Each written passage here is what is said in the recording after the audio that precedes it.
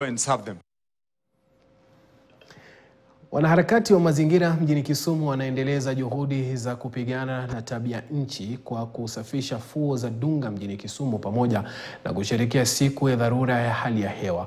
Wakiongozwa na Miriam Wanjiku, wanaharakati hao wameitaka serikali sawia na viongozi kutilia maanani sera za kulinda mazingira ili kupiga vita vya mabadiliko ya tabia nchi. Aidha, wametaja umuhimu wa kila Mkenya kujitolea na kusafisha mazingira huku ikisalia miaka minne kutimizwa malengo ya mazingira bora humu nchini.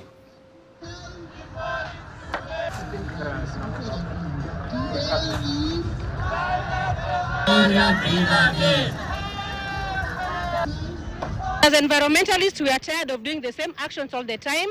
We do cleanups, we do a lot of community sensitization, but our government is letting us down by not taking care of um, the policy that have been written down. So kindly, while leaders, today is our day to demand that the policies that has been written down to save Lake Victoria to be taken into consideration.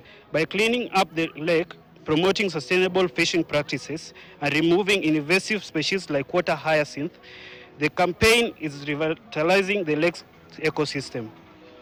These efforts not only protect the biodiversity of Lake Victoria, but also contribute to the broader fight against climate change by enhancing lake's ability to, sequester the, the carbon. We are now left with four years to meet our climate targets. On reducing emissions, this pressing deadline underscores the need for immediate and sustainable action. Tukitoka Kisumu nataka